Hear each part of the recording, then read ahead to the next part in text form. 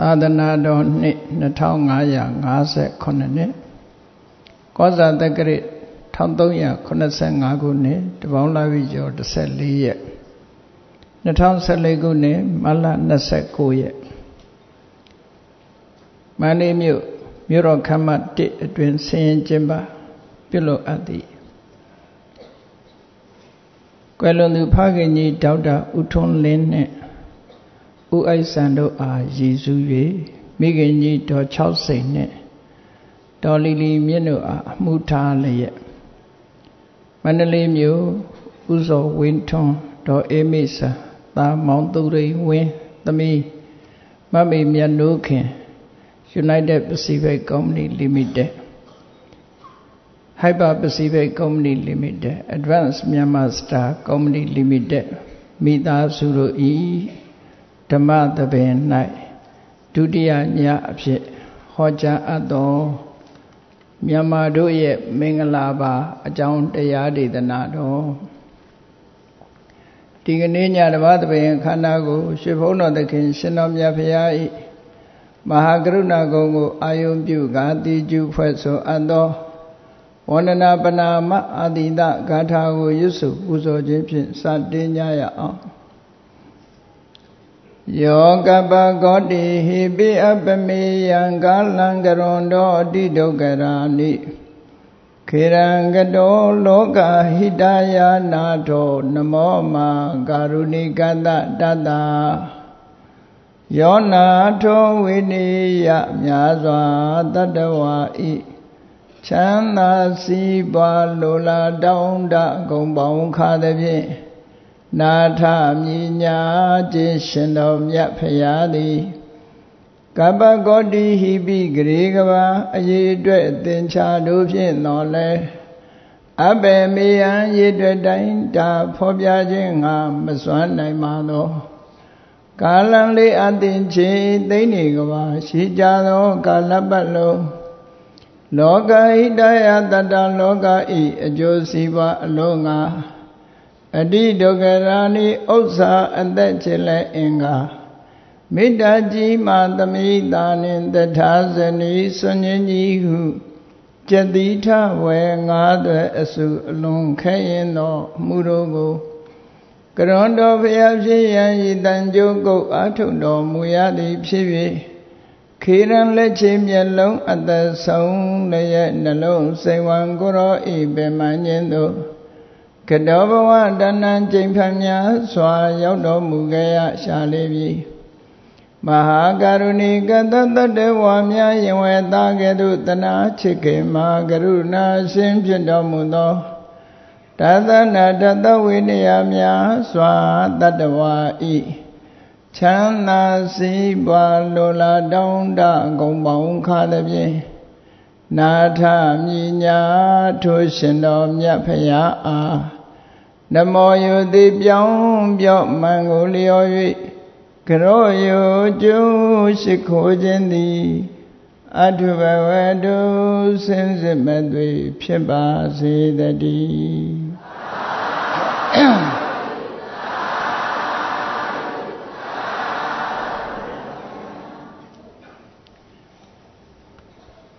မြန်မာတို့ရဲ့မင်္ဂလာပါ မင်္ဂလာဆိုတဲ့စကားလုံးကိုအသုံးပြုပြီးတော့မြန်မာလူမျိုးတွေနှုတ်ဆက်တယ်ဆိုတဲ့စကားမြန်မာပြည်မှာလာရောက်လည်ပတ်ကြတဲ့နိုင်ငံသားတွေကတွင်တွင်ကျဲကျဲအခုအသုံးပြုလာကြတယ်မင်္ဂလာပါဆိုတဲ့စကားလုံးဗုဒ္ဓဘာသာရဲ့တယုတ်တခံ ပြီးပြီးပြင်းပြင်းနဲ့ရသော်ဘုရားသခင်ကိုရောမြတ်ရဲ့အဆုံးအမကိုလိုက်နာကြတဲ့ပုဂ္ဂိုလ်တွေလူများစုနေထိုင်တဲ့မြန်မာနိုင်ငံရဲ့ဒီနှုတ်ဆက်စကားဟာအင်တာမကောင်းတယ်လို့မြန်မာလူမျိုးတွေဟာလည်းမင်္ဂလာဆိုတဲ့စကားလုံးကိုအလွန်နှစ်ချိုက်ကြတယ်နှစ်ပေါင်းကြာရှည်စွာကပင် ဒီကလုံးနဲ့ဒီစကလုံးကိုတွဲဖက်ပြီးတော့အသုံးပြုလာကြတယ်အလှတော်မင်္ဂလာတို့အိမ်တက်မင်္ဂလာထိမ်မြန်မင်္ဂလာနဲ့ဆိုပြီးတော့မင်္ဂလာပွဲတွေဆင်နွှဲကြတယ်နှစ်သိကူးမင်္ဂလာလို့ဆိုပြီးတော့မင်္ဂလာတွေမျိုးမျိုးမင်္ဂလာရှိစေဖို့အတွက်မင်္ဂလာရှိတဲ့လုပ်ငန်းတွေကိုလုပ်ကြတယ်လို့ဒီလိုဆိုတာပေါ့ ဒီမင်္ဂလာဆိုတဲ့စကားလုံးဟာအဖြေထုတ်နိုင်မှုအတွက်မှန်ကန်တဲ့မင်္ဂလာဆိုတဲ့အဓိပ္ပာယ်ကိုရရှိခံစားဖို့မင်္ဂလာဆိုတာဘာကိုခေါ်တာလဲလို့အဖြေထုတ်နိုင်မှုအဖြေကိုစဉ်းစားကြတာ12နှစ်တောင်ကြာတယ်လို့ဆိုတယ်မြတ်စွာဘုရားပွင့်တဲ့အခါမှာဒီမင်္ဂလာဆိုတဲ့စကားလုံးရဲ့အဖြေကိုထုတ်ပေးနိုင်ခဲ့တယ် မင်္ဂလာကိုအဓိပ္ပာယ်ဖွင့်ဆိုတဲ့အခါမှာအမျိုးမျိုးဖွင့်ဆိုကြတယ်ဖွင့်ဆိုကြတဲ့အခါမှာဒီတူကမှန်ရင်နောက်တူစကားမှားနေတာမျိုးဆန့်ကျင်မဲ့အဓိပ္ပာယ်ဖွင့်ဆိုချက်တွေရှိနေသည့်အတွက်ကြောင့်တိကျသေးကြတဲ့အဓိပ္ပာယ်တကယ်ကိုထိရောက်တဲ့အဓိပ္ပာယ်မျိုးဖြစ်မလာကြဘူးပေါ့ဒါကြောင့်မို့လို့မင်္ဂလာဆိုတာကိုလေ့လာကြတဲ့ ဒီမေခွန်းထုတ်နေတဲ့မေခွန်းဟာ12နှစ်ကြာမှမြတ်စွာဘုရားဟောလိုက်မှအပြည့်တတ်သွားတယ်သူဆိုမြန်မာနိုင်ငံမှာတခြားနိုင်ငံကလူမျိုးတွေသူတို့ဘာသာစကားအရနှုတ်ခွန်းဆက်တဲ့စကားလုံးလေးတွေရှိကြတယ်ပေါ့အလုံးသိတဲ့အတိုင်းဟော good morning ဆိုတဲ့စကားလုံးနဲ့မနေ့ခေတ်မှာနှုတ်ဆက်တာလို့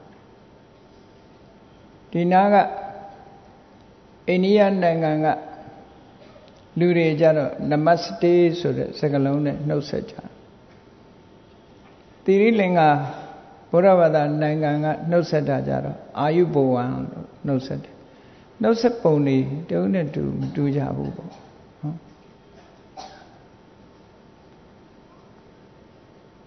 အဲ့တော့နှုတ်ဆက်တာ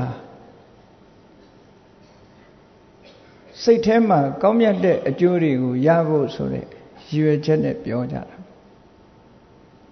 ကိုရီးယားတွေကြတော့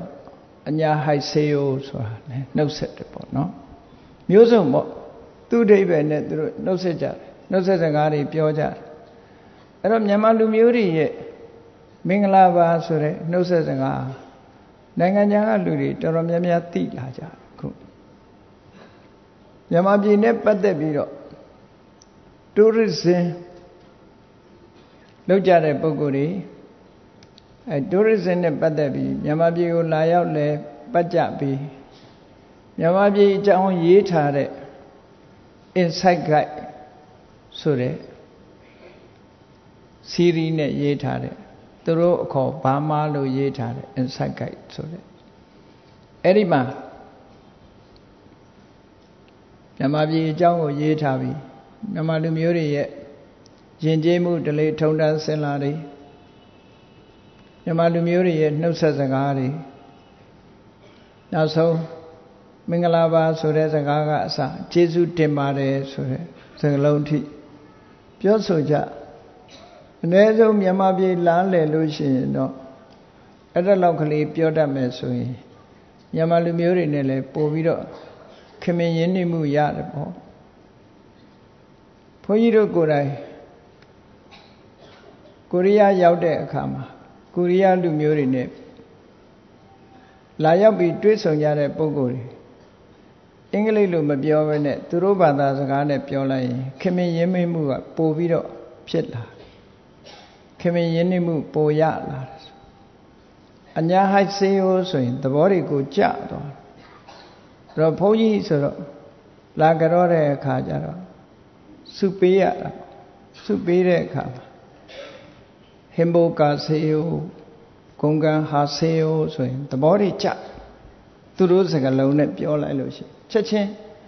သဘောပေါက်ပြီးတော့ပြုံးသွားတယ်တိရိလင်္ကာနေတော့ကလည်းတိရိလင်္ကာစကားနဲ့ပြောတယ်အာယုဘဝံတို့နော် ကျေးဇူးတင်ပါတယ်ဆိုရင်ဘိုးမဣစတုတိလို့ပြောရင်သဘောတွေကိုကြခင်မင်းယဉ်နှိမှုဟာဘာသာစကားရဲ့စွမ်းဆောင်မှုကြောင့်ပပို့ပြီးတော့ခင်မင်းရင်းနှီးမှုရကြကိုယ်စီလာတဲ့ဧည့်သည်တွေလည်းထို့တူပဲသူတို့ဘာသာစကားနဲ့ပြောပြီးဆိုလို့ရှိရင်ပို့ပြီးတော့ခင်မင်းရင်းနှီးမှုရမြန်မာနိုင်ငံမှာမင်္ဂလာပါဆိုတဲ့စကားလုံးကို တွင်တွင်ကြဲကြဲဖြစ်အောင်ဘယ်သူကစပြီးတော့တီထွင်ခဲ့တာလဲလို့ဆိုတာကို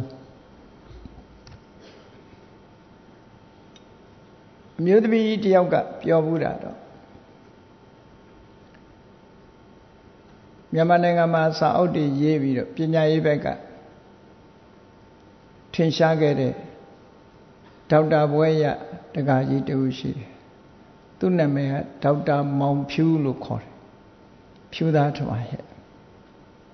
အဲ့ဒီဒေါက်တာမောင်ဖြူကစတင်ပြီးတော့မင်္ဂလာပါလို့ဆိုတာကိုသုံးတယ်လို့ဟုတ်မဟုတ်တော့မသိဘူးအဲ့ဒါလို့ပြောတယ်ပေါ့စသုံးတာပဲပဲ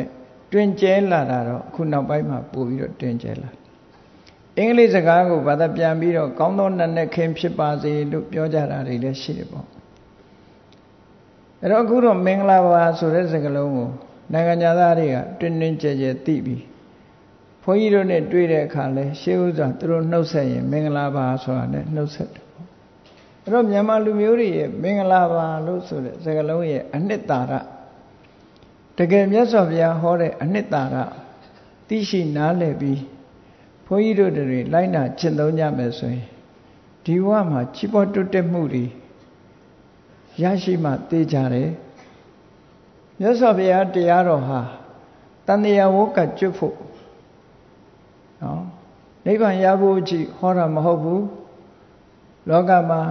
စီးပွားရေးဖွံ့ဖြိုးတိုးတက်ဖို့ပညာရေးဖွံ့ဖြိုးတက်တက်ဖို့လူမှုရေးတွေလူချမ်းသာတွေဖွံ့ဖြိုးတိုးတက်ဖို့ဆိုတဲ့နီးလန်းတွေကိုဟောထားတာအများကြီးပဲများသောအားဖြင့်မြန်မာလူမျိုးတွေမှာ ပိဋကတ်စာပေတွေကပါဠိလိုရေးထားတာဖြစ်သောကြောင့်ပိဋကတ်စာပေတွေကိုမဖတ်ရှုနိုင်ကြတဲ့အခါမှာရသောအဖြစ်လဲဟောပြောတဲ့အခါမှာနိဗ္ဗာန်ရောက်ကြောင်းတရားဒါတွေကိုဟောရများသည့်အတွက်ကြောင့်ဒီအခြေခံဘုရားဟောကြားထားတဲ့အခြေခံဖွံ့ဖြိုးတိုးတက်မှုဆိုတာတွေဟာသိရှိကြတော့လဲအရေးမပါသလိုဖြစ်နေ အရေးမပါသလိုဖြစ်လာသို့တော့မြတ်စွာဘုရားရဲ့အဆုံးအမတိုင်းလိုက်နာကျင့်သုံးကြမယ်စီးပွားရှာတဲ့နေရာပဲဖြစ်ဖြစ်လူမှုရေးကိစ္စတွေဆောင်ရွက်တဲ့နေရာမှာပဲဖြစ်ဖြစ်အုပ်ချုပ်ရေးကိစ္စတွေဆောင်ရွက်တဲ့နေရာမှာပဲဖြစ်ဖြစ်မြတ်စွာဘုရားရဲ့အဆုံးအမလမ်းညွှန်ချက်အတိုင်းလုပ်သွားမယ်ဆိုရင်အလွန်ပြည့်ပြည့်စုံတဲ့ဆုံးမသွန်သင်ချက်တွေဆိုတာလေ့လာတွေ့ရှိရတယ်ပေါ့ ဒီကနေ့ဒီမင်္ဂလာပါဆိုတဲ့စကားလုံးနဲ့ပတ်သက်ပြီးရသော်ဘုရားရဲ့အဆုံးအမဟာနိဗ္ဗာန်ရဖို့တခုတည်းဥတည်ဟောတာမဟုတ်ဘူးလူဘဝရောက်လာပြီဆိုလို့ရှိရင်ကြီးပွားတိုးတက်မှုအတွက်လမ်းစဉ်ချမှတ်ပေးတဲ့အဆုံးအမတွေသာဖြစ်တယ်အဲ့ဒီအဆုံးအမတွေအတိုင်းဘုန်းကြီးတို့တွေလိုက်နာပြီးတော့ အကောင်အထည်ဖော်ဆောင်ရွက်ပြီးလိုက်နာကျင့်သုံးမယ်ဆိုရင်စိတ်ချမ်းသာကိုယ်ချမ်းသာနဲ့ဖွံ့ဖြိုးတဲ့မိမိတို့ရဲ့မိသားစုဖွံ့ဖြိုးတိုးတက်တဲ့မိသားစုဖွံ့ဖြိုးတိုးတက်တဲ့လူအဖွဲ့အစည်းဖွံ့ဖြိုးတိုးတက်တဲ့ကုမ္ပဏီဖွံ့ဖြိုးတိုးတက်တဲ့မြို့ရွာဒေသနောက်ဆုံးနိုင်ငံထိအောင်ဘုရားရဲ့အဆုံးအမတွေလိုက်နာကျင့်သုံးခြင်းအပြင် ပြဿနာတွေအငြင်းပြီးတော့အေးချမ်းစွာဖွံ့ဖြိုးတိုးတက်နိုင်တဲ့အနေအထားမျိုးတစ်ခုရှိသို့တော့ဘုရားဘာသာမြတ်စွာဘုရားရဲ့အဆုံးအမကိုတည်တည်ချာချာမသိတဲ့ပုဂ္ဂိုလ်တွေမြတ်စွာဘုရားရဲ့အဆုံးအမမှာအေးဟိုကမလုံးရဘူးဒါမလုံးရဘူးလို့ဆိုတဲ့ဆိုပါစို့ငါးပါးသီလဒါတွေရှောင်ရတယ်ဆိုတာတွေနဲ့ပတ်သက်လာတဲ့အခါမှာ တချို့ပုဂ္ဂိုလ်ရဲ့ misunderstanding ဖြစ်တာတွေရှိတယ်လွယ်လွယ်မှားမှားအထင်ရောက်ပြီးတော့ဘုရားရဲ့အဆုံးအမတိုင်းပြောမယ်ဆိုရင်သူတို့ပြောတဲ့စကားနဲ့ဆိုရင်ဘုရားဘာသာဖြစ်လို့ရှိရင်ကြီးပွားတိုးတက်တာမဖြစ်နိုင်ဘူးလို့ဒီလိုတောင်မှပဲယူဆပြောဆိုနေကြတာရှိတယ်ပေါ့ဘုန်းကြီးတို့စီမှာ ဒီ2000ပြည့်နှစ်ပတ်ဝန်းကျင်လောက်က2000 2001ပတ်ဝန်းကျင်လောက်ကကိုရီးယားကဘိက္ခုနီမတူဟာအိန္ဒိယနိုင်ငံပူနေတက္ကသိုလ်မှာဒီဝိသုဒ္ဓိမက်ကိုဖွင့်ဆိုထားတဲ့ဝိသုဒ္ဓိမက်မဟာတီကာလို့မြန်မာလိုခေါ်တယ်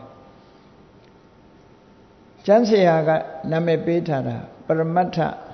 မင်စုတာလို့နာမည်ပေးထားတယ်အဲ့ဒီကျမ်းရဲ့အစိတ်ပိုင်းတစ်ခုကိုလေ့လာသုံးသပ်ဘာသာပြန်ဆိုခြင်းဖြင့် PhD ဘွဲ့ယူဖို့စာတမ်းတစ်ခုရေးတယ်စာအုပ်တစ်ခုပြုစုတယ် dissertation ပြုစုတဲ့အခါမှာဒီကျမ်းကအမတမခက်တယ်ဒီစာပေကျမ်းကန်တွေကမြန်မာနိုင်ငံမှာသာစာအုပ်စာတမ်းလည်းပြည့်ပြည့်ဝရှိတယ် ရှင်းလင်းပြနိုင်တာလည်းမြန်မာနိုင်ငံမှာပဲရှိတယ်ဆိုတော့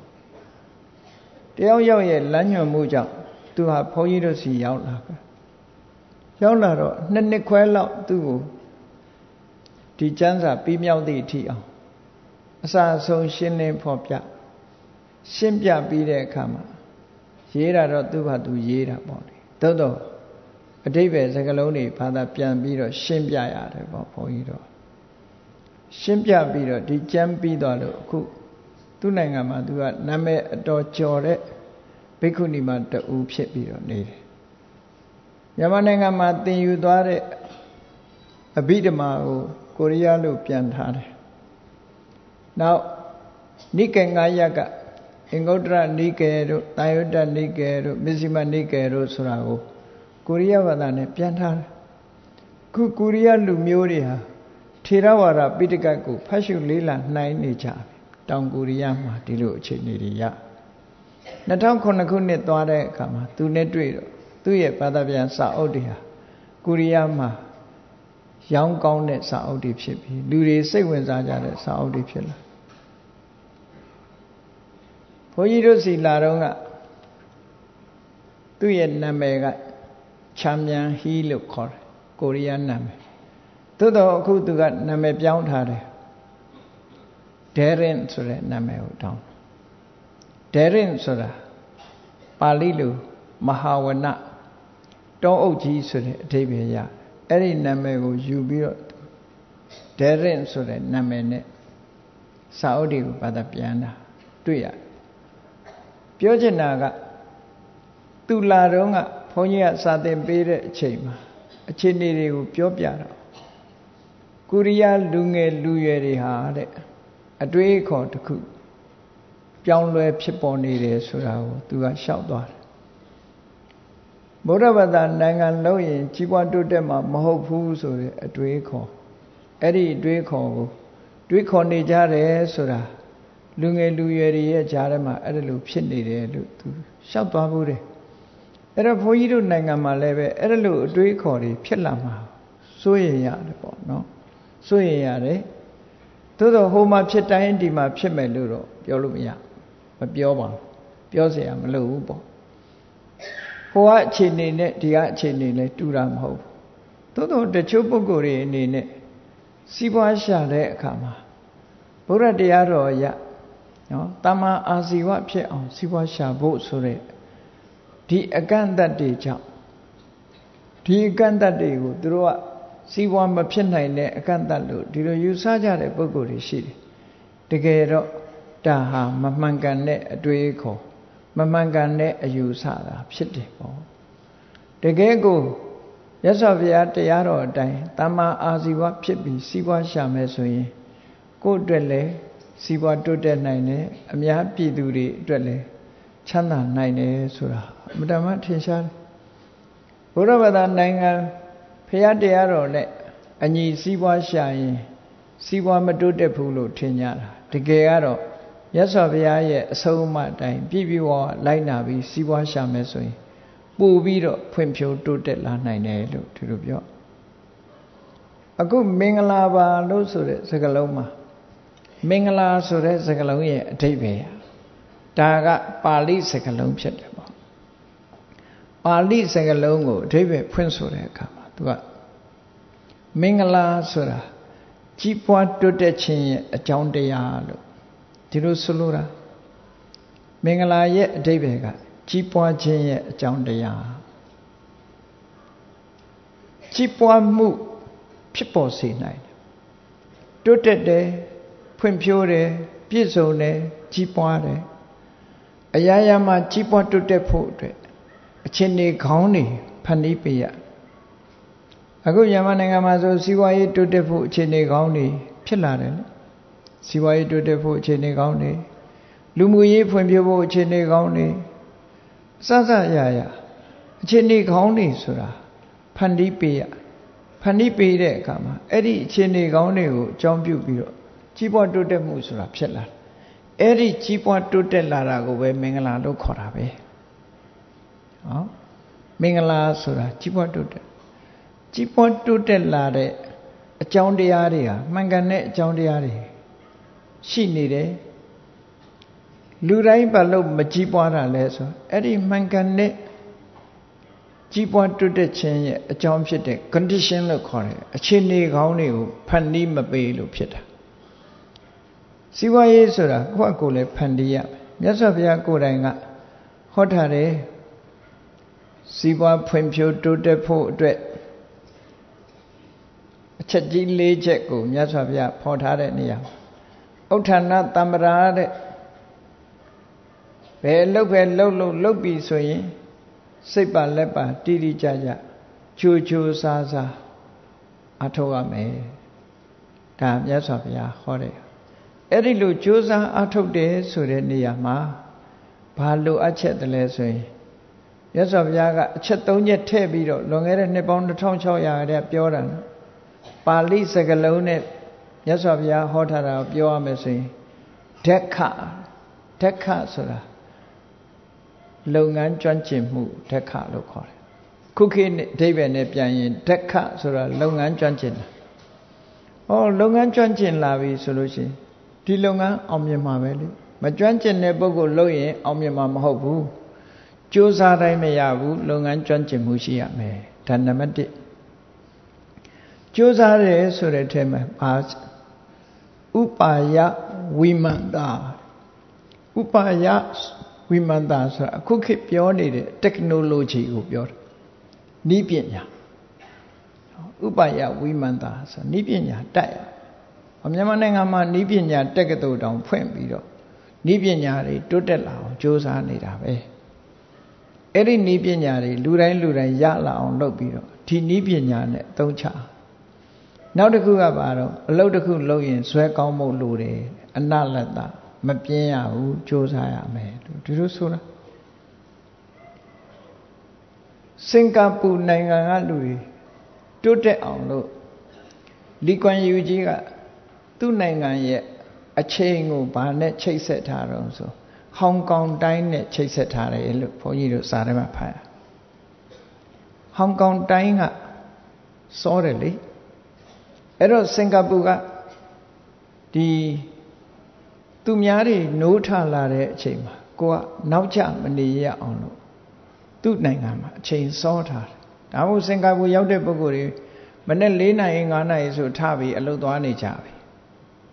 အိတ်ကောင်းတော့ရှိသေးတယ်ဒီမှာနော်၄နာရီ၅နာရီအိတ်ကောင်းဟိုမှာ၄နာရီ၅နာရီဆိုလူသမားတွေထားပြီးသွားနေကြပြီ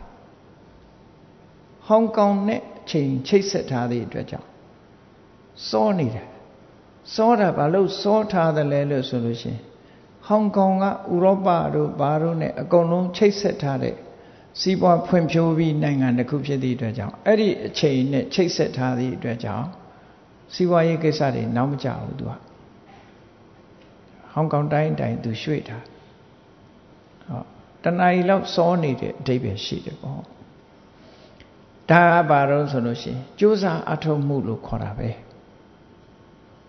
အဲ့တော့မြန်မာနိုင်ငံကကြိုးစားအထောက်လို့ရှိရင်ဘာလို့မအောင်မြင်ရမှာလဲဗမာပြည်ကပို့ပြီးတော့အခြေအနေကောင်းတာပဲအခြေအနေကောင်းနေရှိတာပဲကြိုးပွားကြိုးစားအထောက်လို့ရှိရင်စီးပွားတိုးတက်လာမှာပဲ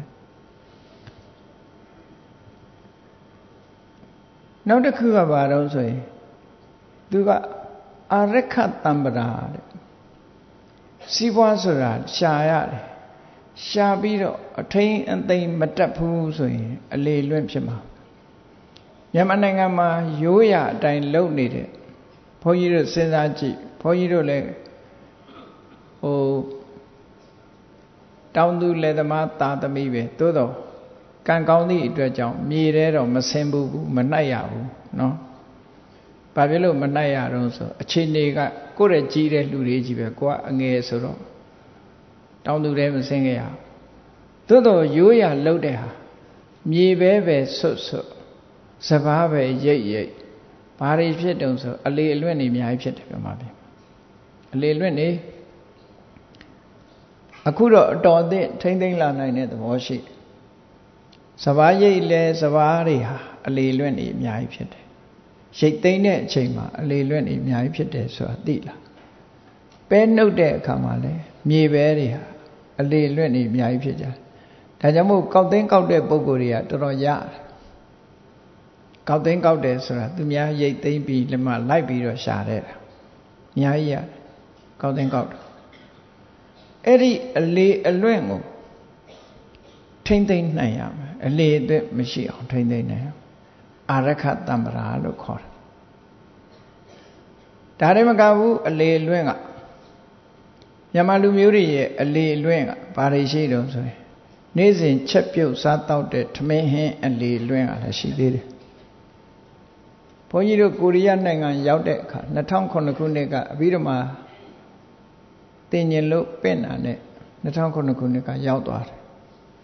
ရောက်တဲ့အခါဟိန်းစာဆိုတဲ့ ကိုရီးယားဘုန်းကြီးကျောင်းကြီးမှာတညအိတ်အဲ့ဒီမှာနန်းနဲ့စာစားတဲ့အခါကျတော့ခုနကပြောတဲ့ကိုရီးယားဘိက္ခုနီသူတို့တပိတ်ကလေးကအသေးလေးပါ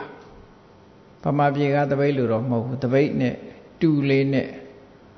ဟောသူတို့တပိတ်ကဗမာပြည်ကအလဲတဲ့ပကံလောက်ပဲရှိတာ အဲ့ထဲမှာစောနေဟင်းနေထည့်ပြီးတော့တူလေးနဲ့ယူလာပြီးဆရာတော်တဲ့ဒီထဲကစောနေဟင်းနေကိုကုံအောင်ဖုံးပေးရမှာတဲ့ခြံထားလို့မရဘူးတဲ့ထမင်းညာဟင်းညာမကြံ့ရဘူးတဲ့စီကံထုတ်ထားတာအကယ်၍ဆရာတော်ကုံအောင်မစားနိုင်ရင်သူတို့စားပါမယ်တဲ့တွန်ပြစ်လို့မရဘူးဘယ်မှတွန်ခွဲမရှိဘူးပကံနဲ့ရောက်သွားရင်ဗိုက်ထဲအကုန်ရောက်အောင်ထည့်ရမယ်လို့ဆိုလို့တယ်နော် ပကံနဲ့ရောက်တဲ့ထမင်းဟင်းဒီဗိုက်ထဲအကုန်ရောက်အောင်အဲ့ဒါကိုသဘောကျ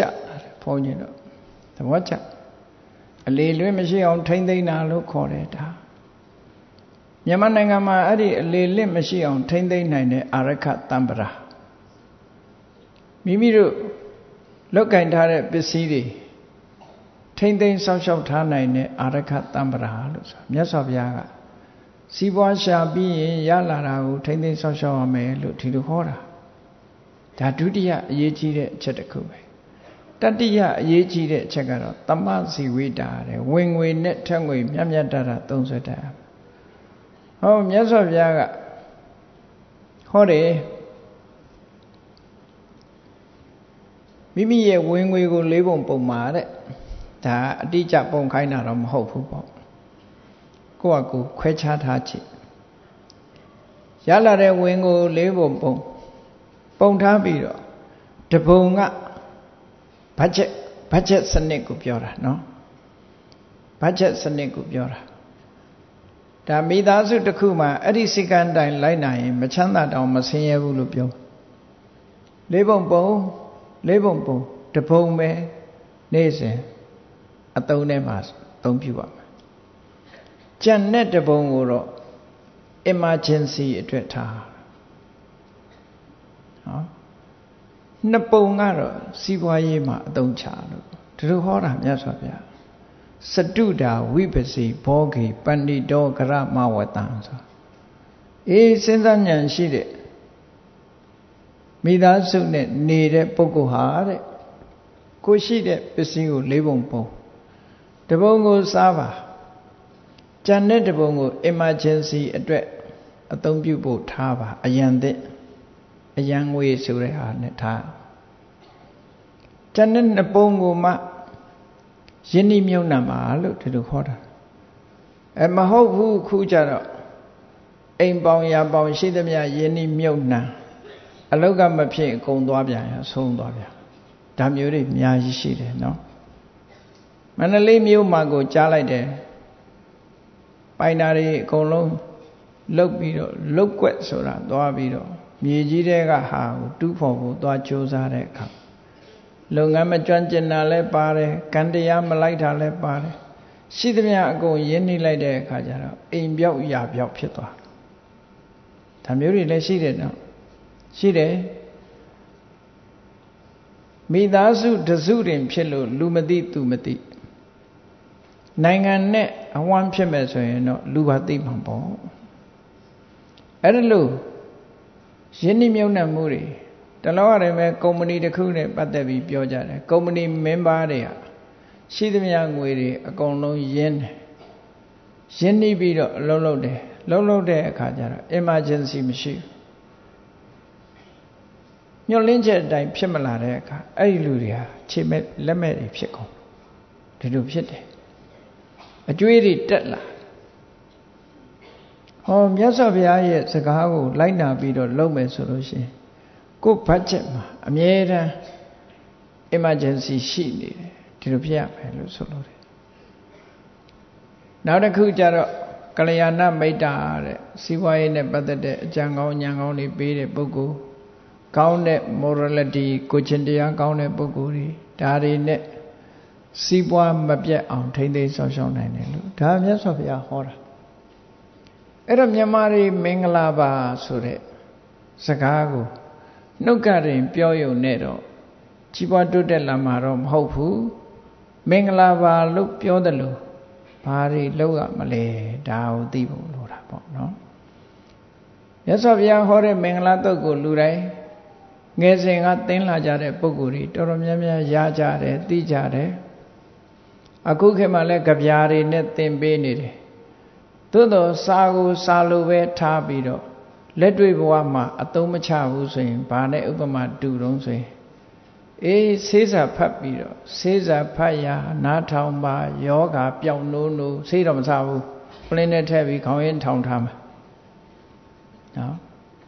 မစားဘူးလက်တွေ့တော့မလုပ်ဘူးဆိုလို့ရှိရင်တော့ဘာမှဖြစ်မလာနိုင်ဘူးလို့ဒီလိုပြောတာနော်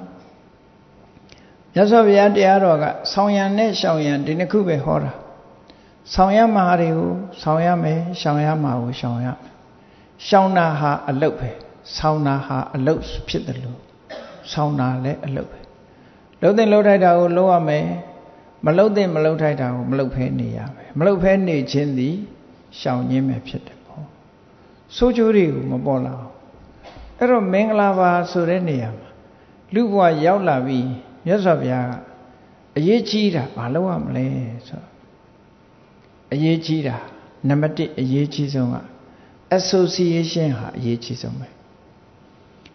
မိမိဟာလူအတိုင်းဝိုင်းနဲ့ရောက်လာပြီဆိုရင်အပေါင်းအသင်းတွေနဲ့တွေ့ကြလိမ့်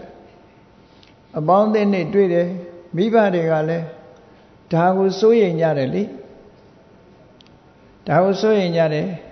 ကလေးတွေကြောင်းထားပြီဆိုရင် အပေါင်းအသင်းမှားမှမစိုးရိမ်တဲ့မိဘမရှိဘူးကိုရင်ခွင်ကနေထွက်သွားတဲ့ကလေးအပေါင်းအသင်းမှားမှစိုးရိမ်ကြတယ်ပေါ့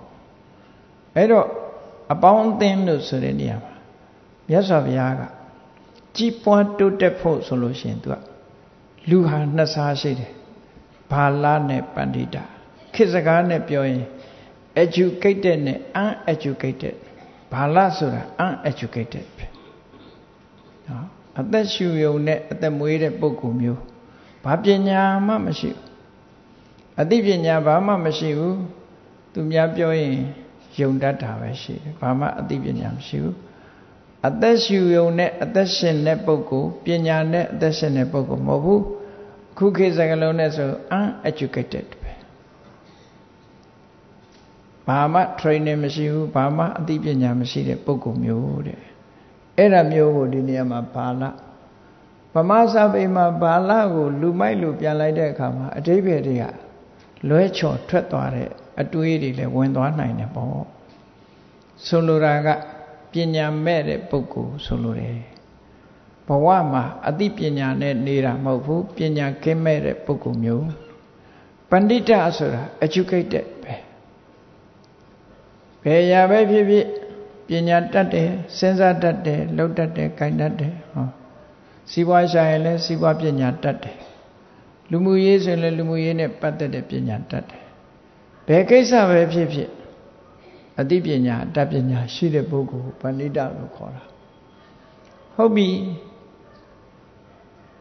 association လုပ်တဲ့အခါမှာပေါင်းတင်ဆက်ဆံတဲ့အခါမှာ educated နဲ့ပေါင်းမှ ကိုဟာသူစီကဘုဒ္ဓတာတွေအတွေ့အကြုံတွေအသိအမြင်တွေရစီးပွားလောက်တတ်တဲ့ပုဂ္ဂိုလ်နဲ့ပေါင်းရင်ဟောသူစီကပညာတွေရပြီကိုလည်းစီးပွားလောက်တတ်တဲ့ပုဂ္ဂိုလ်ဖြစ်သွားပညာတွေရလာရမယ်ဒါကြောင့်မို့မြတ်စွာဘုရားကလူဘဝစလာတယ်ဆိုလို့ရှိရင်တော့ educated နဲ့ပေါင်းဖို့လိုတယ်နိုင်ငံနဲ့ပြောမယ်ဆိုရင်လေနော်ကိုယ်နိုင်ငံကြီးပွားတိုးတက်ဖို့ဆိုရင် ဤပညာတွေပေးနိုင်တဲ့ educated တွေနဲ့ပေါင်းအောင်မှာပဲဒါမြို့တစ်မြို့ဆိုလဲ educated နဲ့ပေါင်းစီးပွားပညာ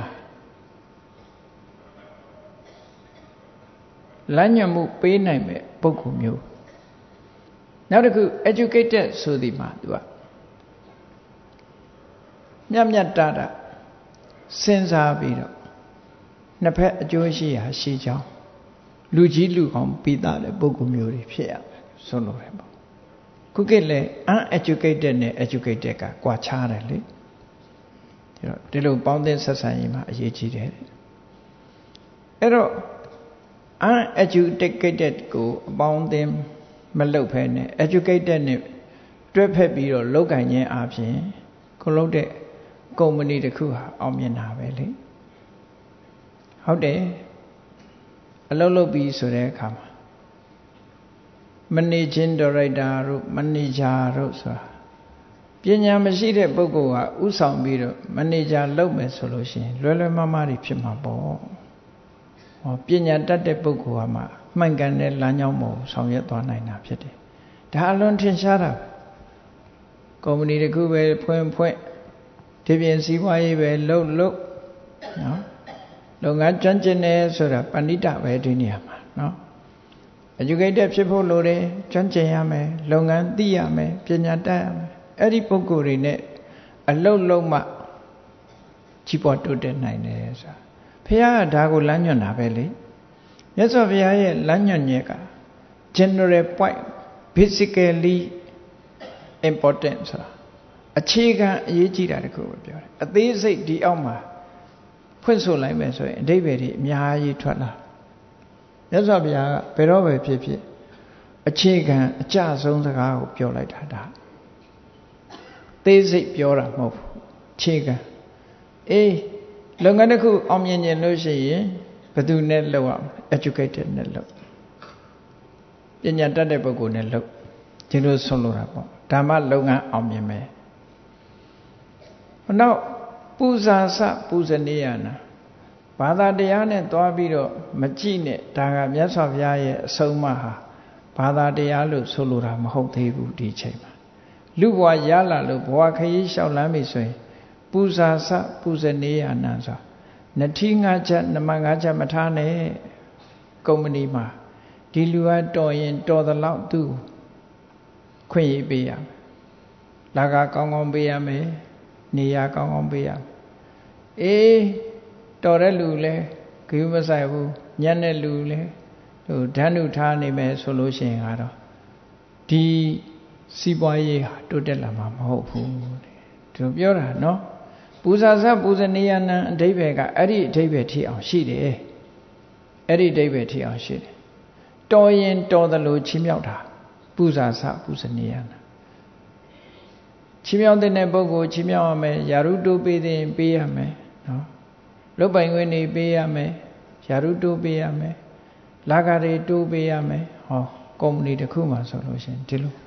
ဘယ်စည်းပွားလုတ်တဲ့ပုဂ္ဂိုလ်ပဲဖြစ်ဖြစ်မိသားစုမှာပဲဖြစ်ရင်တော်ရင်တော်သလိုတော်ရင်တော်သလိုနေရပေးရမယ်တော်သူနဲ့မတော်သူကိုဓာတ်နုသွားထားလို့ရှင်တော်သူကလည်းမကြိုးစားတော့ဘူးနော် မတော်သူကဝင်လို့ရင်လည်းအလွဲချော်တွေကုန်ဖြစ်ပျက်စီးမှာပဲဒီလိုဆိုတာပေါ့နော်အဲ့တော့မြတ်စွာဘုရားရဲ့စကားဟာကြည့်ကြီးပွားတိုးတက်ဖို့ဆိုလို့ရှိရင်မင်းဘာလုပ်ရမလဲ uneducated တွေနဲ့တွဲဖက်ပြီးအလုံးမလုံးနဲ့တဲ့ဒါတခုနော်အလုံးမလုံးနဲ့ဆိုတာတပြက်စီလဲဖို့တို့ဘာလို့တော့ရှိကောင်းရှိမှာပေါ့နော် educated တွေနဲ့တွဲဖက်ပြီးအလုံးလုံး အဲ့ဒီထဲမှာ educated တွေထဲမှာတော်ရင်တော်တယ်လို့ချီးမြှောက်ဒါဆိုရင်စီးပွားဥစ္စာတိုးတက်လာမြန်မာတို့ရဲ့မင်္ဂလာပါဆိုတာဒါပြောတာနော်ဖះဟောတဲ့စာပေစကားလုံးနဲ့ပြောရင်အသေးဝနာစဘာလနာပဏိတာနေစသေဝနာပူဇာစပူဇနေယနာဣတံမင်္ဂလမௌတမံ အကောင်းဆုံးသောမင်္ဂလာဆိုတာအကောင်းဆုံးသောကြီးပွားတိုးတက်ခြင်းရဲ့အကြောင်းတရားပဲလို့ဒီလိုဆိုတာပဲเนาะနိဗ္ဗာန်ရဖို့လမ်းကြောင်းနဲ့စီးပွားရေးလုပ်တဲ့လမ်းကြောင်းကတစ်မျိုးစီပဲတစ်မျိုးစီဆိုလို့မဟုတ်တာတွေလောက်ခိုင်းတာမဟုတ်ဘူးလမ်းကြောင်းကတစ်ချောင်းစီရှိတယ်မြတ်စွာဘုရားကိုယ်တိုင်ဟောထားတာရှိတယ်အညာဟိလာဘူးပဏိတာပစ္စည်းဥစ္စာရဖို့ရှားဖို့ရတဲ့အကြောင်းတရားကတခုတည်း အညာနိဗ္ဗာန်ခာမိနီနိဗ္ဗာန်ရောက်ဖို့သွားတာတချောင်းနဲ့ဟုတ်တယ်လေဘုန်းကြီးဝုတ်ပြီးတရားကျင့်နေမှာမဟုတ်တာပစ္စည်းရှာတာသူ့လိုင်းနဲ့သူသွားတယ်ဒီလိုဆုံးလို့တာပေါ့အဲ့တော့မင်္ဂလာတုံးမှာမြတ်စွာဘုရားအခြေခံနေစဟောတာဟုတ်ပြီစီးပွားလုပ်တဲ့အခါမှာဒီအချက်ဟာအလေးနဲ့ထားရမယ်တော်ရင်တော်သလိုချီးမြှောက်တတ်ရမယ်ဒါတခု လူဘဝစလာပြီးအလုတ်ကင်စပြီဆိုရင်ဒါအရေးကြီးတဲ့အချက်တစ်ခုပဲတဲ့နောက်တစ်ခါဘာတွေလှုပ်တဲ့နေတယ်လဲဒါတွေလှုပ်ပြီးတော့ဘာတွေလှုပ်ရအောင်မလဲဆိုတခြား condition တွေမရှိတော့ဘူးလားရှိတယ်အခုပြောတာကယာရုခန္ဓာရေးနဲ့ပတ်သက်တယ်လိုက်နာဖို့ဟာနဲ့ပတ်သက်တယ်နောက်တစ်ခုကဘာလို့ဆိုရင် စီးပွားရေးလုပ်ပြီးဆိုလို့ရှိရင်ပฏิရူပဒေတာဝါဒကိုယ်ကစီးပွားရှာခြင်းနဲ့ဆိုရင်စီးပွားရေးကောင်းတဲ့နေရာရွေးချယ်နေဖို့လိုတယ်စီးပွားရေးတော့လုပ်ချင်တယ်ဟိုးဝေးလံဒေတာသွားရေးလာရေးခက်ခဲတဲ့နေရာသွားပြီးတော့စီးပွားရေးသွားလုပ်လို့ဘာမှမရဘူးလေပฏิရူပဆိုတာဟာလုပ်ငန်းနဲ့တက်လျော်မဲ့နေရာကိုရွေးချယ်တာ ဒါတော့လူတွေကျွမ်းကျင်မိတာပါမြတ်စွာဘုရားပြောတဲ့အတိုင်းနော်ကျွမ်းကျင်ကြတယ်လေဒါကြောင့်မို့လို့ဒီလမ်းမကြီးတွေတို့ဘာလို့ဆို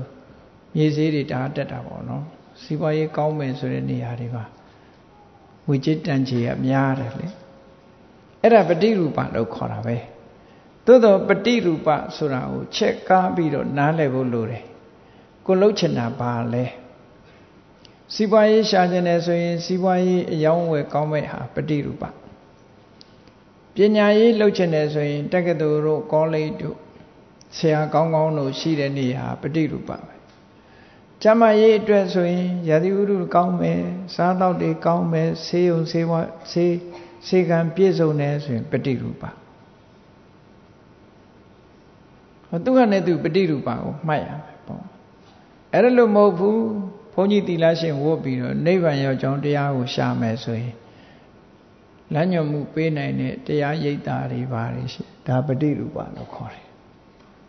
အဲ့ဒါပฏิရူပလို့ပြောတယ်အဲ့ဒီပฏิရူပကိုနေတာဟာလည်းပဲကြီးပွားတိုးတက်ခြင်းရဲ့အကြောင်းပဲမြန်မာတို့ရဲ့မင်္ဂလာပါဆိုတာကိုယ့်အကိုရွေးချယ်ရမယ်နေရာကိုရွေးချယ်ထားရမယ်ဒီလိုဆိုတာနော်ရွေးချယ်ထားရမယ် ဟုတ်ပြီရွေးချယ်တဲ့အခါမှာအခြေခံကောင်းတွေကလိုအပ်သေးတယ်ဘာလဲအခြေခံကောင်းကပုပ်ဝိစကတပုံညတာ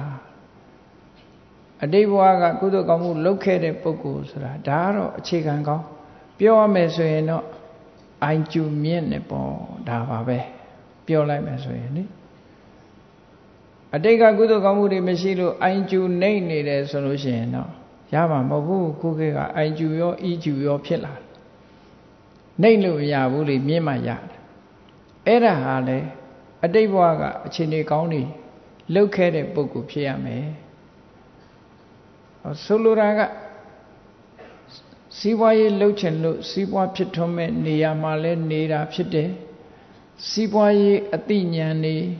အတွေးခေါ်တွေအမြင်တွေလည်းရှိတယ်ဆိုတာပုပ္ပိသကတဘုံညာတာပဲစီးပွားရေးအမြင်ရှိတယ် လူဆိုတာလူတိုင်းအမြင်ရှိတာမဟုတ်ဘူးနော်စီးပွားရေးနဲ့ပတ်သက်တဲ့အမြင်ပညာရေးနဲ့ပတ်သက်တဲ့အမြင်တခြားအမြင်တွေဆိုလူတိုင်းရှိတာမဟုတ်အဲ့တော့အဲ့လိုရှိတာကိုကပုပ္ပိသကတဘုံညာအဲနောက်တစ်ခုအရေးကြီးတာတော့ပါတော့ဟုတ်ပြီတင့်တဲ့နေရာလဲရွေးထားတယ်ကို့မှာလဲအိုင်ကျူလဲမြင့်တယ်ပေါ့စီးပွားရေးပညာလဲတတ်တယ်ဘာလို့ရမလဲအတ္တသမပဏိတိ ကိုယ်ထိမ့်ထိမ့်သိမ့်သိမ့်နေထားရမယ်။အော်မနေတတ်ဘူးအထူးသဖြင့်စိတ်ကောင်းထားတတ်ရမယ်။စိတ်ကောင်းမထားဘူးဆိုလို့ရှိရင်စိတ်ထားရုပ်တယ်စိတ်ထားပုတ်တယ်ဆိုရင် အပေါင်းအသင်းတွေကတဖြည်းဖြည်းခွာသွားတာ။စိတ်နေသဘောထားဟာအမြဲတမ်းအရေးကြီးတယ်။အဲ့ဒီစိတ်နေသဘောထားကိုမှန်ကန်ဖို့အတ္တသမပဏိတိဆိုတာစိတ်သဘောထားမှန်ကန်ရမယ်လို့ ဘာလို့လို့ဆက်ဆံရေးနဲ့ပတ်သက်စိတ်သဘောထားကောင်းရမယ်ကိုချင်းတရားတွေတိုးတက်ပြီးတော့ကိုချင်းကောင်းရမယ်အများပေါ်မှာသဘောထားကောင်းရမယ်ဆက်ဆံရေးကောင်းရမယ်ဆိုတာတွေဟာအတ္တသမပဏိတိတွေပဲတမာအဖြစ်ကြည့်မယ်ဆိုရင်ဒါတွေကိုအရေးမပါဘူးလို့မထင်လေနဲ့အလွန်အရေးပါတယ်စီဝါရေးလှုပ်တာပဲဖြစ်ဖြစ်တခြားအရေးအရာတွေဆောင်ရွက်တာပဲဖြစ်ဖြစ်အတ္တသမပဏိတိဆိုတာအရေးကြီးဆုံးပဲ အတ္တသမပဏိတိပြတ်သွားပြီလူတယောက်ဟာကိုယ့်ကိုထိမ့်ထိမ့်သိမ့်သိမ့်မရှိဘူးစိတ်ထားမကောင်းဘူးဆက်ဆံရေးညံ့နေဆိုရင်ကြာဆုံးသွားတာပဲနောက်ပိုင်းကျဟောမြတ်စွာဘုရားဟောတာဒါကိုဟောတာနော်ဒါဟောစီးပွားတိုးတက်ဖို့အတွက်ဒါတွေရေးကြည့်တယ်လို့လူဘဝမှာတိုးတက်ဖို့ရာအတွက်ဒီဟာတွေကကောင်းမြတ်တဲ့ condition တွေဖြစ်လို့မင်္ဂလာပါဆိုတာဒီမင်္ဂလာတွေလိုက်နိုင်ရမှာကိုပြောတာတဲ့ ဒီမင်္ဂလာတွေလိုက်နာကျင့်သုံးတာကိုဖြစ်ရမယ်ဒီလိုဆိုရဒါဖြင့်ဒီလောက်လေးနဲ့လုံလောက်ရဲ့လားလူဘဝမှာဆိုပါစို့ educated နဲ့ပေါင်းတယ်စီးပွားရှာတဲ့အခါမှာတော်တဲ့လူတွေနဲ့လက်တွဲပြီးလှုပ်တယ်အဲ့ဒီထဲမှာထူးချွန်ထက်မြက်တဲ့ပုံကိုယ်တွေကိုအခွင့်အရေးတွေပေးတယ်စီးပွားရေးကောင်းတဲ့နေရာမှာနေတယ်အိုင်ကျူမြင့်တယ် ကိုယ်စိတ်ကိုလည်းထိမ့်သိမ်းဆောက်ရှောက်တယ်ဒီလောက်နဲ့ပြည့်စုံပြီလားလို့ဆိုဒီတဲ့တိုးတက်ဖို့ရှိသေးတယ်ဘာလို့อ่ะ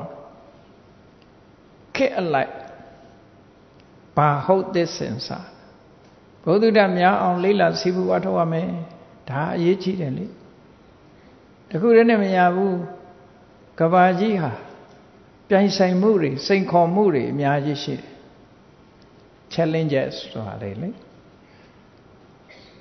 အဲ့ဒီပြိုင်ဆိုင်မှုတွေဒီနီးပညာတွေဆိုတာနေ့စဉ်နဲ့အမျှတိုးတက်နေတာတိုးတက်နေတာရှေ့ကိုသွားနေတာအဲ့ဒါတွေကိုမျက်ခြေမပြရဘူးမျက်ခြေမပြရဘူးအကုန်လုံးပြည့်စုံအောင်လုပ်ရတယ်ဒီ facility တွေခက်တဲ့အခြေအနေခက်တဲ့ရင်မောင်တန်းလိုက်တယ်ဆိုတဲ့စကလုံးတစ်လုံးရှိတယ်အလုံးသိကြပါလိမ့်မယ် နော်အဲ့ဒီစကားလုံးကဘာတော့ဆိုရင် be the joseph ဆိုတဲ့စကားလုံးလေးရှိတယ် be the joseph ဣရိယံသဘောမျိုးသုံးတာ be the joseph ဆိုတာခက်နဲ့အညီနေထိုင်မှာလို့ဆိုလို့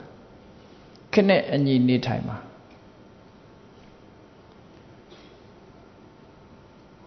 ကုမ္ပဏီတစ်ခုလုပ်တယ်ဆိုရင်လည်း be the joseph ပဲသူများကုမ္ပဏီတွေမှာရှိတယ်လို့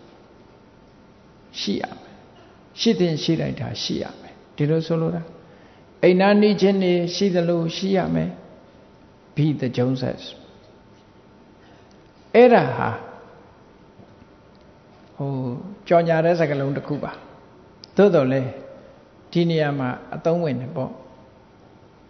အဲ့ဒါဒီဘောဓုတဆိုတာရှိရမယ်လို့ဆိုလိုတယ်ပေါ့မျက်ခြေမပြရဘူးနေ့စဉ်ကဘာကြီးမှာဘာတွေဖြစ်နေတယ် စီးပွားရေးနဲ့ပတ်သက်ပြီးတော့အမြဲတမ်းအောက်ကျမသွားအောင်နောက်ကျမသွားအောင်သူကနော်အမြဲတမ်းရှေ့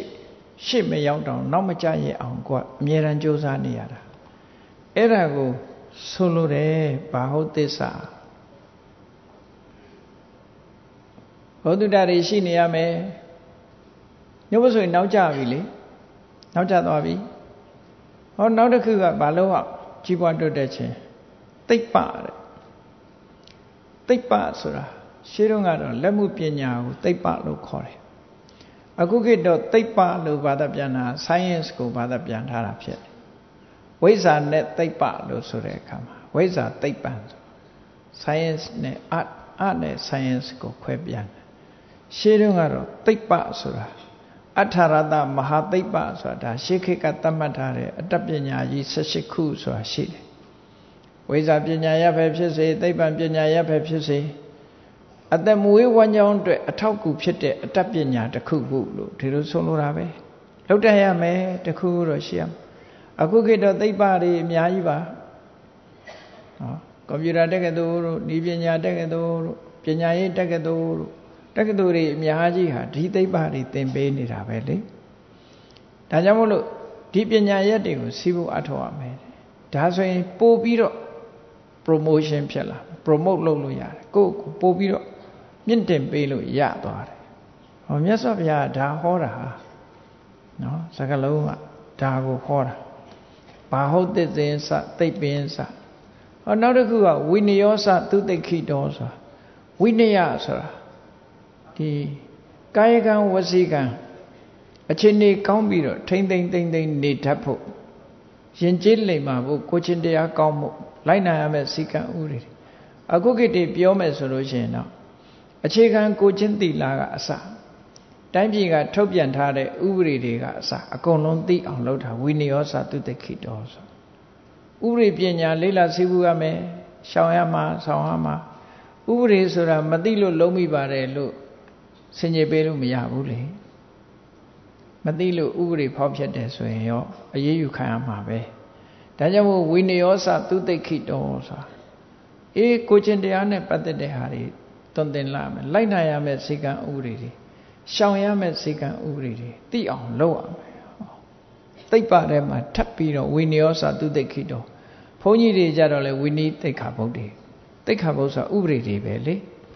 discipline တွေဒါတွေနားလည်အောင်သင်ရမယ်လို့ဒီလိုပြောတာဘလောက်မြတ်စွာဘုရားရဲ့လမ်းညွှန်မှုတွေကတောင်းစီတယ်မင်္ဂလာပါမြန်မာတို့ဒါတွေမလုပ်လို့ရှိရင်မင်္ဂလာကပါလာမှာမဟုတ်ဘူးเนาะမင်္ဂလာပါဖြစ်မှာမဟုတ်ဘူးဝိနည်းသသူသိခိတောရင်ကျေးမှုနဲ့ပတ္တတာတွေသင်ရမယ်ပြီးပြီဆိုရင် သူဘာတိတာဆရာဝါစာအပြောဆိုဟာဆက်သွယ်ရေးမှာအပြောဆိုဟာအရေးကြီးဆုံးပဲတဦးနဲ့တဦးဆက်သွယ်တယ်ဆိုတာအပြောနဲ့ဆက်သွယ်တာစကားမပြောတတ်ရင်တောင် sign language နဲ့ပြောရသေးတာပဲလေနှုတ်ကပြောတယ်ဆိုတာနှုတ်ချိုရှိုးတပါးလို့ဆိုတဲ့အတိုင်းသူဘတိတဆိုတာရသော်ဘုရားကဆုံးမဟောကြားထားတဲ့သူဘတိတနော်အကျိုးရှိတဲ့ အပြောအဆိုမျိုးဖြစ်ရမယ်တဲ့အပြောအဆိုတတ်ရမယ်နံပါတ်1ကအပြောအဆိုတတ်ရမယ်ကိုပြောတဲ့စကားဟာအကြောင်းအကျိုးစီလျော်တဲ့စကားမျိုးဖြစ်ရတစ်ဖက်သားမေတ္တာသက်ဝင်တဲ့စကားမျိုးဖြစ်ရမယ်မှန်တဲ့စကားမျိုးသာဖြစ်ရမယ်မှန်တရားပဲဖြစ်ရမယ်ဒီလိုဆိုတာဟောစာပေလို့ပြောရမယ်ဆိုရင်သူဘာတိတံယေဝဘာတတိနောဒုဗ္ဗတိတံဒါကြဘု န်းကြီးကပြောနေတယ်လို့အောင်းမိမဆိုလို့မြတ်စွာဘုရားဟောထားတာတွေကိုပြောတာအခုဟာသူဘာတိတံယေဝဘာတတိနောဒုဗ္ဗတိတံမပြောသေးမပြောလိုက်တဲ့စကားတွေပြောတာမဟုတ်ဘူးပြောတဲ့စကားတွေကိုပြောတယ်ပြောတဲ့အခါမှာလည်းပဲဓမ္မယေဝဘောပါတတိနောအတ္တမတရားလက်လွတ်တရားမဲ့စကားတွေပြောတာမဟုတ်ဘူးတရားနဲ့ပတ်သက်တဲ့တရားဆိုတာမှန်ကန်တဲ့ ဒီလမ်းကြောင်းလိုက်နာကျင့်သုံးရမယ်အောင်ဆုံးလို့ပိယံယေဝပါတတိနောအပိယံချစ်ခင်နာပြောပွဲရင်ရင်ကြီးကြီးပြောတာပိယနော်ရင်ရင်ကြီးကြီးပြောတယ်ရိုင်းဆိုင်ဆိုင်မပြောဘူးသစ္ဆံယေဝဘာတတိနောအသစ္ဆံမှန်တာကိုပဲပြောတယ်မမှန်တာကိုအဲ့ဒါဟာသူဝတိတာစာရဝါစာ လူတွေရဲ့ communication မှာစကားဟာဆက်သွယ်မှုအကြီးမားဆုံးသောလက်နက်တစ်ခုဖြစ်တယ်ပေါ့ဒါကြောင့်မို့အပြောဆိုလိမ္မာတက်ကြွမိပြောတတ်ဆိုတတ်တယ်ကြောင်းနဲ့အကျိုးနဲ့ဆိုရင်အထက်ရောက်သွားတာပဲဒါကြောင့်မို့လို့ဒီပြောတတ်ဆိုတတ်ဖို့အတွက်လူတွေမှာလေ့ကျင့်ရတယ်သင်ကြားကြရတယ်ဒီလိုဆိုတာပေါ့အေးပါဇက်ပဲစကားရှိပါဇက်ရှိရင်စကားပြောဖြစ်တာပဲလို့ဒီလိုမအောင်မေ့လေနဲ့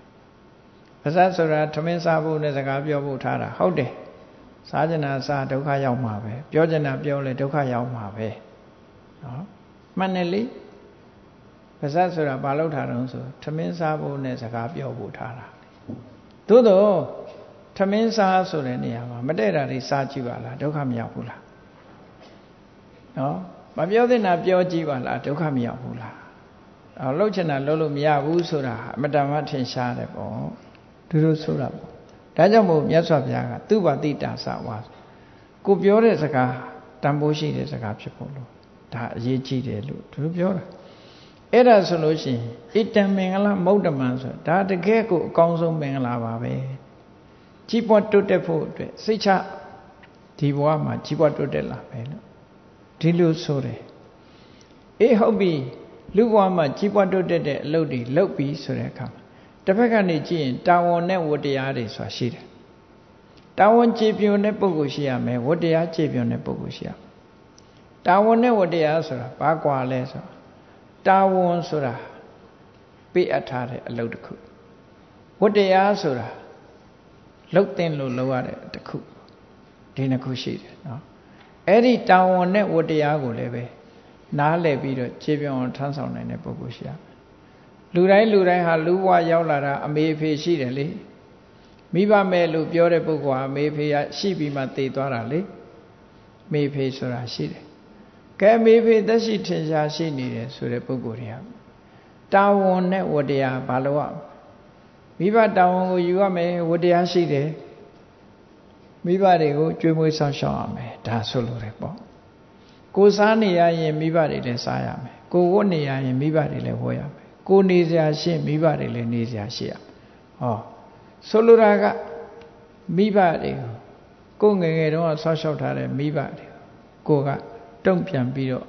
ပြုစုဖို့ဝတ္တရားရှိတယ်လို့ဒီလိုဆိုတာအဲ့တော့မိဘဆိုတာအထူးသဖြင့်တော့အိုမင်းမစွမ်းဖြစ်လာတဲ့အခါမှာသားသမီးကပိုတာဝန်ယူရတယ်ပေါ့ကိုတုံးကတိတ်ငဲနေတဲ့အချိန်မှာဒီမိဘကကိုယ့်ပုံမှာတာဝန်ယူခဲ့တာလေ ပြန်ကြည့်လိုက်ကိုမိဘလှုပ်တဲ့ကိုကလေးတွေပေါ်မှာဘလောက်တာဝန်ယူရတယ်ဆိုတာသိတယ်အဲ့ဒါလို့အသက်အရွယ်ကြီးလာတဲ့အခါပြန်တာဝန်ယူတာကိုဆိုလို့ရတယ်ဒါကလူယဉ်ကျေးမှုအတိုင်းဝိုင်းတစ်ခုရဲ့လိုက်နိုင်ရမယ်ကိုချင်းတရားတာဝန်နဲ့ဝတရားနောက်တစ်ခုကဗုဒ္ဓဒါရတသင်္ဟောတဲ့မိသားစုဖြစ်လာပြီဆိုလို့ရှိရင်အဲ့ဒီမိသားစုရဲ့တာဝန်ကိုလည်းယူရမယ်ဝတရားရှိတယ်ဟောဒီနှစ်ခုက လှုပ်တဲ့လှုပ်ထိုက်တာကိုမြတ်စွာဘုရားလှုပ်ရမယ်နှုတ်ဖို့ဆိုဝတရားချုပ်တဲ့အမေဖေတွေသားသမီးတွေကကူမဆိုင်လို့ပြစ်ထားတယ်တိုင်းပြည်မှာဝန်တော့ဝန်ဖို့ဖြစ်လာတယ်နော်သားသမီးတွေကိုဒီတာဝန်ရှိတဲ့ပုဂ္ဂိုလ်ကပြစ်ထားတယ်အလေလွင့်နေဖြစ်လာတယ်ဟောတိုင်းပြည်မှာဝန်တော့ဝန်ဖို့ဖြစ်လာဒါမျိုးတွေမဖြစ်စေရဘူးကိုယ့်ဟာကိုယ်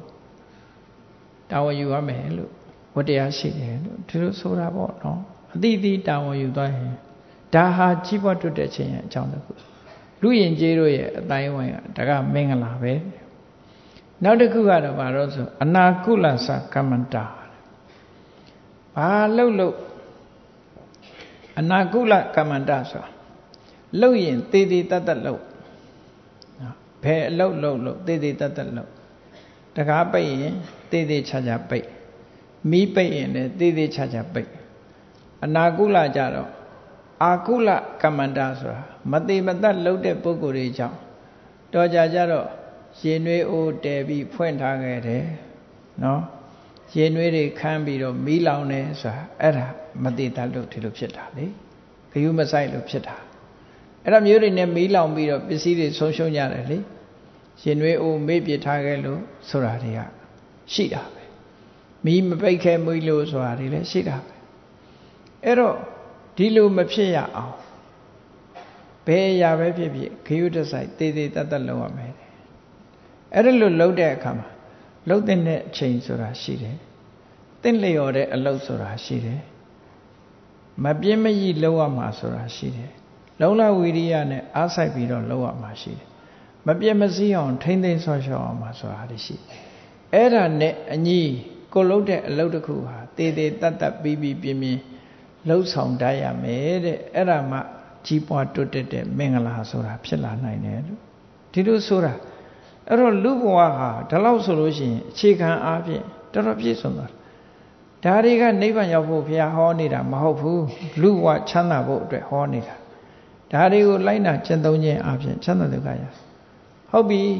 စီးပွားဥစ္စာတွေတိုးတက်လာပြီ ကို့မှာဒီအလုပ်တွေလည်းအကုန်သေချာလို့ကြီးပွားတိုးတက်လာတယ်ဆိုရင်လှုပ်တဲ့တာတခုကိုပြောမယ်ခုနကလှုပ်ရမှာကိုပြောတာအခုဟာလှုပ်တဲ့တာကိုပြောတာမလှုပ်မနေလှုပ်ရမှာကပြီးပြီဘာတွေတော့မလှုပ်မနေလှုပ်ရမှာကအမေတွေကိုမိဘတွေကိုဂရုစိုက်ရမယ်နော်သားသမီးတွေကိုကျွေးမွေးဆောက်ရှောက်ရမယ်ဒါအလုပ်ကိုလုပ်ရအလုပ်ကင်လုပ်လို့ရှိရင်တည်တည်တတ်တတ်ရှိရမယ်ဒီလိုဆိုရ ဒါအလုပ်ကိုလုပ်ရမယ်လှုပ်တဲ့နာကိုတခါမြတ်စွာဘုရားပြောတယ်ဘာတွေလှုပ်တဲ့နေသလဲလူဘဝရလာပြီဆိုရင်ဒါနင်းစကိုယ်အပြည့်စုံလာလို့ရှိရင်အေးအပြည့်စုံတဲ့ပုဂ္ဂိုလ်တွေပေးတာကမ်းတာမျှတာဝေတာဒါလုပ်ရမယ်လို့ဆိုလို့တယ်မြတ်စွာဘုရားကိုယ်တိုင်ကိုယ်ကစီးပွားရေးနဲ့ပတ်သက်ပြီးတော့လမ်းညွှန်ထားတာတခုရှိတယ်။ဘာလဲလို့ဆိုရင် စီးပွားရှာလို့ရလာတဲ့ပစ္စည်းဟာသိမ့်ထားဖို့မဟုတ်ဘူးတဲ့။ဘာလို့ကကိုရထားတဲ့ပစ္စည်းကိုနံပါတ်1ကိုချမ်းသာအောင်သုံးစွဲရမယ်။ချမ်းသာအောင်နေရမယ်သုံးစွဲရမယ်။ဆိုလိုတာလုံလုံချုံချုံအိမ်ကောင်းရာကောင်းဆောက်ကားကောင်းကောင်းစီးနော်ထမင်းကောင်းကောင်းဟင်းကောင်းကောင်းချက်စားကိုချမ်းသာအောင်နေတာကိုပြောပြတာပါဒါချမ်းသာအောင်နေရမယ်ဒါရှာတာဒါအတွက်ရှာတာလေ ပြီးပြီဆိုရင်မိမနေနဲ့နောက်တစ်ခုလောက်ရမှာအမေဖေတွေကိုလည်းချမ်းသာအောင်ထားနောက်တစ်ခုကသားသမီးတွေချမ်းသာအောင်ထားနောက်တစ်ခုကဆွေမျိုးမိတ်တင်ကားတွေချုပ်ငယ်နေလို့ရှိရင်ကုညီဆောင်ရှောက်နောက်တစ်ခုကဒါနာကောင်းမှုလုပ်လို့ဆိုလိုတယ်ပေါ့ဒီ၅မျိုးနဲ့ကုံသွားတဲ့ပစ္စည်းဟာကုံတယ်လို့ပြောတာမဟုတ်ဘူးတဲ့အတုံးဒါအဖြုံးနဲ့မဝင်ဘူးအတုံးလို့ခေါ်တယ်ကုံတယ်လို့ပြောစရာမလိုဘူး စနစ်တကျသုံးဆွဲလိုက်တယ်လို့ပဲပြောရမယ် waste ဖြစ်သွားတာမဟုတ်ဘူးเนาะသုံးလိုက်ထားတာဖြစ်တယ်ပေါ့အဲ့တော့သုံးနာနဲ့ဖြုံးနာဆိုတာတူမမတူတာဟုတ်ဒါကသုံးဖို့လောက်ထားတာသုံးကိုသုံးရမယ်လို့ဆိုလို့တယ်အဲကျန်တာတော့အဖြုံးတော့ကျန်တဲ့ဟာတွေအဖြုံးဒီတဲ့ပိုးသွားရင်တော့အဖြုံးမဲ့ရောက်သွားပြီဒါမှတ်ပြီတော့ဒါအသုံးဘက်မှာနေတာဒီလိုဆိုတာအဲ့တော့ ဒါနကောင်းမှုဆိုတာလောက်လောက်ခြင်းအဖြစ်စီလုံးညင်ညာမှုမေတ္တာတက်ရောက်မှုတွေပိုရောက်လာနောက်တစ်ခုကဓမ္မစရိယာတဲ့ဒီလှုပ်တဲ့လှုပ်ထိုက်တဲ့ကိုချင်းတရားတွေနဲ့ပတ်သက်ပြီးတော့ထိမ့်သိမ်းဆောက်ရှောက်ရမယ်ကျင့်သုံးရမယ်တရားနဲ့အညီနေထိုင်ရင်ထားရမယ်ညာတကာနဲ့စတင်ဟောတဲ့ခုနထဲမှာပါတဲ့အတိုင်းဆွေတွေမျိုးတွေကုညီဆောက်ရှောက်ရမယ်နောက်တစ်ခုကအနဝိဇ္ဇာနိကမ္မာနိ အပြစ်ကင်းတဲ့အလုပ်တွေကိုလုပ်ရမယ်ဆိုလိုတာကရာဇဝမှုအပြစ်ကင်းကင်းရမယ်ဥပဒေနဲ့ပတ်သက်ပြီးတော့အပြစ်ကင်းရမယ်ကိုလုပ်တဲ့အလုပ်ဟာနော်တားမြစ်ထားတဲ့ဥပဒေတွေမချိုးဖောက်ရဘူးလိုက်နာရမယ်ဥပဒေတွေကိုလိုက်နာရမယ်ဥပဒေဘောင်တွင်းကနေရမယ်ဒီလိုဆိုတာပေါ့ဥပဒေဘောင်ကိုကြော်ပြီးတော့ဥပဒေကိုဆန့်ကျင်တဲ့အလုပ်မျိုးဘယ်နိုင်ငံဘယ်နေရာနေနေမလုပ်သင့်တာပေါ့မလုပ်သင့်ဘူး ဒါနဲ့ပတ်သက်ပြီးတော့ပြောအောင်မယ်တခုပြောပြဘုန်းကြီးတို့တရားဓမ္မကနေလှူထားတာကားလေးအစုပ်ကလေးအစုပ်လို့ပြောတာအကောင်းနဲ့ရှင်ပြောတာပါစီးလို့တော့ရပါသေးတယ်အဲ့ဒီကားလေးကိုဘေးကဘလို့အကြံဉာဏ်ပေးကြတုံးဆိုလို့ရှင်ကားလဲလိုက်ပါတဲ့ဝက်တော့ကားနဲ့လဲရရတယ်ဆိုဘုန်းကြီးကဗာပြန်ပြောလိုက်တော့ဆို ဟာဥပရိပေါင်းအတွင်းကပဲနေချင်ပါတယ်လို့ဒါတွေမလုပ်ချင်ပါဘူးလို့ကိုကဥပရိအတွင်းဥပရိအတိုင်းနေလို့ရှိရင်ကိုကတတ္တိရှိတယ်ကိုကဥပဒေချိုးဖောက်ထားလို့ရှိရင်ကိုကအရှုံးကြီးပဲလေအဲ့ဒါလို့လာလာပြောတဲ့အခါအဲ့ဒါလို့ပဲပြောလိုက်တယ်အေးကားအစ်မစည်းခြင်းဘူးမဟုတ်စည်းခြင်းတယ်ဒါပေမဲ့ဥပဒေမဲ့တာတော့ငါကတော့မလုပ်ချင်ဘူး ဥပဒေပေါင်းတွင်းရပဲနေမယ်ဆိုဝက်တော့ကာမစိခဲ့ဘူးဘာမှမကြောက်ဝက်တော့ကားတွေတိမ့်လိုက်တဲ့အခါကျတော့ပါကုံညာအဲ့ဒီဘုန်းကြီးတို့တော့မပါဘူးမပါတာအဲ့ဒီအတွေးခေါ်ကြောင့်မပါတာအနုဆိုပါမှာပဲဆိုလိုတာကလူတိုင်းလူတိုင်းဟာဥရိပောင်တွင်ကနေထအောင်ကြိုးစားဖို့လိုတယ်ပေါ့ဥရိကိုမဖောက်ဖျက်ရအောင်ဒီလိုဆိုတာပေါ့ အေးဒီလိုခယူးဆိုင်ကြရမှာဟောနောက်တစ်ခုကကြည့်အနဝိဇ္ဇာနိကမ္မနိဆိုအဲ့ဒါအပြစ်ကင်းတဲ့အလုပ်လုပ်ထားတယ်ဆိုရင်ကိုယ့်ဘုံမှာထိခိုက်နေနာမှုဘာတစ်ခုမှမရှိဘူးဟောနောက်တစ်ခုရှောင်ကျင်ရမှာတွေပါသေးတယ်လှုပ်တဲ့နာတွေကိုပြောပြီးတော့ရှောင်တဲ့နာတွေရှောင်ရမှာတွေကိုမြတ်စွာဘုရားဆက်ပြောတယ် အာရတိဝိရတိပါပါတဲ့အောက်တန်းကြတဲ့အလုပ်တွေမလုပ်ပါနဲ့တဲ့ရှောင်လိုက်ပါတဲ့အောက်တန်းကြတဲ့အလုပ်တွေနော်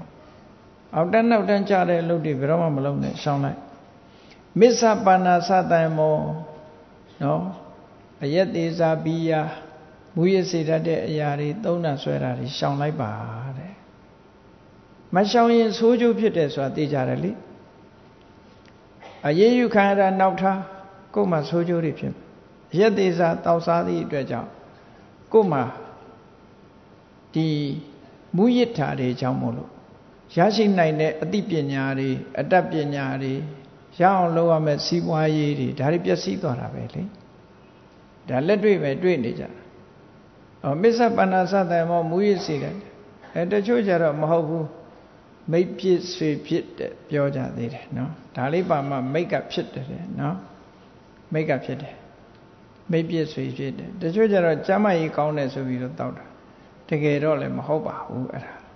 ကြိုက်လို့တောက်တယ်ပဲပြောပါတော့ကျမ်းမကြီးကတော့မကောင်းတာသိချာဆရာဝန်တယောက်ကိုမေးကြည့်တယ်အရက်တောက်တာဟာကျမ်းမကြီးအတွက်အထောက်အကူဖြစ်လားဆိုဘယ်အထောက်အကူပြုမှာတော့ ਨੇ သွေးရဲရောက်သွားတယ်ဆိုကြတဲ့ကအဲ့ဒီကနေပြီးတော့လူရဲ့အတွေးခေါ်တွေဟာတဖြည်းဖြည်းပြောင်းသွားနိုင်တယ်ဟုတ်တယ် မူရစ်တဲ့အရေးတွေဟာသွေးသားတဲ့ရောက်သွားပြီဆိုရင်တဖြည်းဖြည်းအတွေးခေါ်တွေကမှားလာတာဒါဖို့အရင်မူးတဲ့အခါ hallucination ဆိုတာရှိတယ်လေအင်္ဂလိပ်လို hallucination ဆိုတာအရက်မူးရင်ထင်ရောင်မြင်ရောင်မဟုတ်တာတွေပြောအယူသဖွယ်ဖြစ်သွားဒီလိုဟာတွေရှိဒါကြောင့်မို့မြတ်စွာဘုရားကရှောင်မာလို့ပြောတာဒါလို့ရင်ဒီအနေရရှိတယ်ဒါကြောင့်ရှောင်ခိုင်းတာဟောနောက်တစ်ခုကဘာလို့ဆိုအပမဒောသဓမ္မေတု မကောင်းတဲ့တရားတွေဒီကုသိုလ်တရားနဲ့ပတ်သက်ပြီးတော့မမေ့ပါနဲ့လို့ဒီလိုဆိုအဲ့ဒါလောက်ဆိုရင်ကိုလူဘဝဟာလုံလောက်နေပြီမြန်မာတို့ရဲ့မင်္ဂလာပါဟာမင်္ဂလာရှိအောင်နေကြမယ်ဆိုရင်ဒီအတိုင်းတာလိုက်ထိအောင်နေကြည့်ပါဒီအတိုင်းတာထိလှုပ်ကြည့်ပါလှုပ်ကြည့်မယ်ဆိုလို့ရှိရင်စီးပွားရေးလည်းတိုးတက်လာမှာဖြစ်ပါတယ်လူမှုရေးလည်းတိုးတက်လာမှာဖြစ်ပါတယ်ပညာရေးတွေလည်းတိုးတက်လာမှာဖြစ်ပါတယ် အားလုံးအစစအရာရာတိုးတက်ပြီးတော့စိတ်ချမ်းသာလက်ချမ်းသာကိုချမ်းသာနဲ့မိသားစုပျော်ရွှင်မှုဆိုတဲ့အောင်မြင်မှုတွေကိုဟောဒီကိုချင်းတရားတွေကပေးသွားမှာဆိုတာအမှန်မှထင်ရှားပါတယ်အေးဒါကြောင့်မို့တရားချစ်ခင်သူတော်စင်ပြိဿပေါင်းတို့အားလုံးကိုနှုတ်ဆက်တဲ့မင်္ဂလာပါဆိုတဲ့အတိုင်းတို့တွေတကယ်မင်္ဂလာရှိအောင်ဘယ်လိုလုပ်ရကြီးပွားတိုးတက်အောင်ဘယ်လိုလုပ်ရ ကြီးပွားတိုးတက်မှုဟာမှန်ကန်တဲ့စိတ်နှလုံးအေးချမ်းစွာ တိုးတက်တဲ့တိုးတက်နည်းဟာအကောင်းဆုံးတိုးတက်ခြင်းဖြစ်တယ်မြတ်ဗုဒ္ဓရဲ့အဆုံးအမအတိုင်းတို့တွေလိုက်နာကျင့်သုံးမယ်ဆိုရင်မင်္ဂလာရှိတဲ့မြန်မာပြည်မင်္ဂလာရှိတဲ့လူမျိုးမင်္ဂလာရှိတဲ့အတွေးအခေါ်တွေနဲ့မင်္ဂလာရှိတဲ့လုပ်ရတွေလုပ်ပြီးတတိုင်းလုံးတပြည်လုံးဖွံ့ဖြိုးတိုးတက်သွားမှာဖြစ်ပါတယ်ဆိုတာကို ယုံကြည်လက်ခံပြီးချင့်ကြံကြိုးကုပ်အားထုတ်တော်မူနိုင်ကြပါစေကုန်သတည်း